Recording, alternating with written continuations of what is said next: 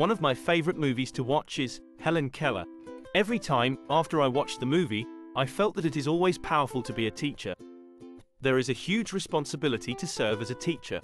Working as a teacher, or as an educator at the university level, especially teaching language to students, reminds me of how liberating and how privileged it is to stand there in front of the class. Ms. Sullivan, in the movie, received her payment afterward, but that's just one side of the story. The true satisfaction that Ms. Sullivan had was indeed when she finally succeeded to introduce water to Helen. Helen finally learned how to see her life and all things that surrounded her with words and spelling that Ms. Sullivan taught. One of the reasons why I insist I keep working as a teacher or as a university instructor to this day is my satisfaction to see my students grow from not knowing something to knowing something. Well, when the odds come in the form of an examination, I always hope that my students' ability can grow from time to time, even after the class has ended, or beyond the diploma or certificate they have.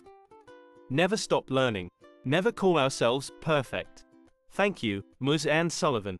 Your method for freeing the blind and deaf student, Helen Keller, is worthy of beyond appreciation.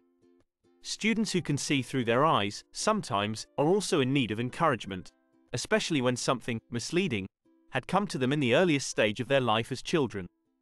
I admire you, Ms. Sullivan.